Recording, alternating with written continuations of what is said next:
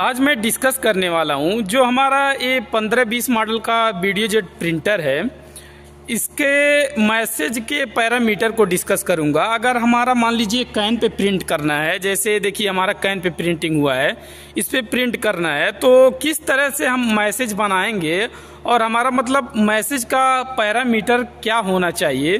तो ये मेरा, ये देखिए वीडियो जेट प्रिंटर जो है, ये प्रिंटिंग मोड में है, यहाँ पर देख सकते हैं प्रिंटिंग मोड में है। और हमारा प्रिंटिंग कर रहा है। तो ऐसा मैसेज हमारा प्रिंट कर रहा है, एक कैन पे देख सकते हैं, कुछ इस तरह का मैसेज प्रिंट कर रहा है। तो इस, ऐसा मैसेज प्रिंट करने के लिए कौन सा पैरामीटर हम डालेंगे मैसेज का पैरामीटर कैसे सेट करेंगे तो उसको हम लोग समझते हैं। तो सबसे पहले मैं एक प्रिंट निकाल के दिखा देता हूँ। तो मैं प्रिंट हेड के पास चलता हूँ। ये देखिए, यहाँ पर प्रिंट हेड है। तो ये देखिए सादा पेज है यहाँ पर, देखिए। अब मैं यहाँ पर इसको प्रिंट करता हूँ। तो देख सकते हैं कितना स्टैंडर्ड क्वालिटी का प्रिंट हुआ है। तो इस, ऐसा प्रिंटिंग करने के लिए हमारा पैरामीटर में क्या क्या होना चाहिए? तो ये हमारा मैसेज प्रिंटिंग मोड में है। अब मैं पैरामीटर में चलता हूँ और पैरामीटर देखते हैं। ये मैसेज में गए, उसके बाद इंटर प्रेस किए। इंटर प्रेस किए, उसके बाद क्या आ रहा है? Message parameters second option enter press किए। इंटरप्रेस किए। अब ये देख सकते हैं, हम हम लोगों को अगर इस तरह से प्रिंटिंग लेना है, इस तरह से अगर हम लोगों को प्रिंटिंग करना है तो हम, हमारा जो पैरामीटर होता है तो हमारा जो पैरामीटर होता है, कुछ इस तरह से होना चाहिए। चालीस पॉइंट छः चार ज़ीरो। उसके बाद ये देखिए कैरेक्टर हाइट हमारा जो प्रिंट होता है, उसका हाइट कितना है? ये जो हमारा यहाँ पर ये देख सकते हैं, इसका हाइट कितना है? ये स्टैंडर्ड जो है, वो सात है। इसको सात रखे हैं।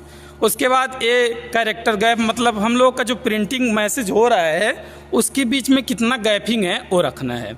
उसके बाद हमारा ये डिले मतलब कितना डिले हो रहा है प्रोडक्ट कितना डिले हो रहा है, उसके बाद प्रिंट हो रहा है, ये हमारा है। उसके बाद ये रिवर्स रिवर्स के बारे में मैं ऑलरेडी वीडियो बना के डाल चुका हूँ। उसके बाद ये देखिए इन्वर्ट जो होता है इन्वर्ट भी हमारा उल्टा सीधा प्रिंटिंग होता है। उसके बाद ये देखिए हमारा सेलेक्ट रास्टर जो होता है, ये हमारा हाइट में चौंतीस होता है। अगर हमको इस तरह से मैसेज प्रिंट करना है तो हमको ये चौंतीस रखना पड़ेगा। स्टैंडर्ड साइज़ है।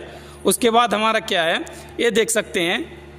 रास्टर रिपीट ये रास्टर रिपीट क्या है? एक नंबर पे हमारा सेट है, इसमें दस नंबर तक है, ये देख सकते हैं। तो मैं दस, दो नंबर करके और प्रिंट करके देखता हूँ कि किस तरह से प्रिंटिंग हो रहा है।